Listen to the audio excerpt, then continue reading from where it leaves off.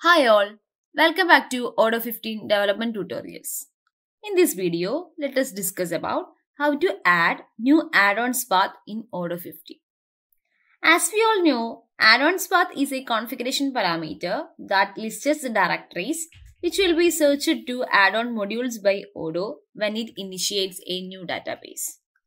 So, let us check how to add a new add-ons path inside to the config of Odoo. For that, let's go to the PyCharm. So currently in my PyCharm, the add-ons path is Home Cybrosys Odoo 15 add-ons. This is the path of default add-ons. That is default source code of Odoo 15. I need to add one of my custom modules such as CRM dashboard, QR code custom and all-in-one cancel Odoo and which all of them are included inside the directory of my modules. So I like to be install the CRM dashboard module into my uh, demo database.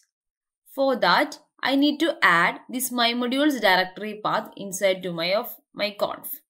So let us check how to it. So I'm just copying its path and then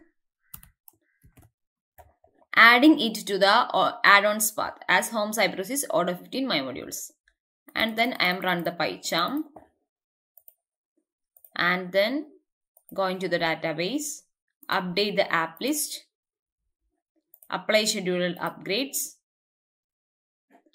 and then search for my custom module that is CRM dashboard.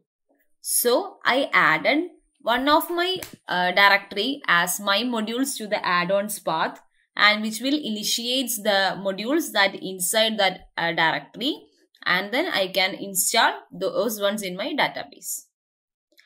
Likewise, we can add add more more modules path or more more add-ons path into our conf and then we can access those modules in our database.